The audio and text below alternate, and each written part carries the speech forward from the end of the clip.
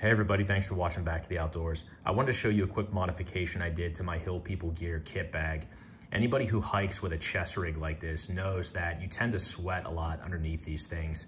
And in the summer, it can be really bad. I mean, I've sweated out the whole front of my shirt wearing one of these things. And I was trying to figure out how could I create some airflow between my chest and this Hill People Gear kit bag. And what I did is I went and bought a pool noodle. I, you know, I thought about this for a while. This is actually the perfect material to use for this mostly because it's really lightweight, it's not gonna absorb your sweat, and it's really soft.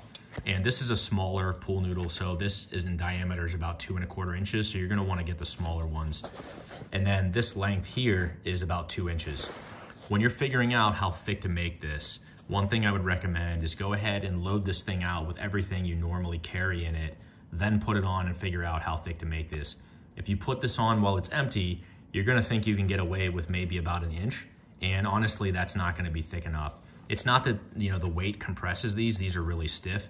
It's just that, you know, it tends to ride a little differently on your body uh, when you have stuff in it. And what I used for this, this is just a yarn needle. I didn't use actual yarn, but you are gonna need a thicker needle in order to get it through this Cordura, this heavy duty fabric. Just grab a pair of needle nose pliers uh, in order to, you know, help kind of work it through there.